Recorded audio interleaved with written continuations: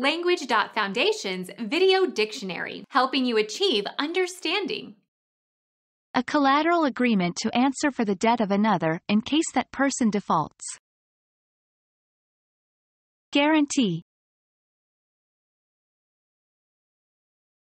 Become our student and get access to effective and free educational materials.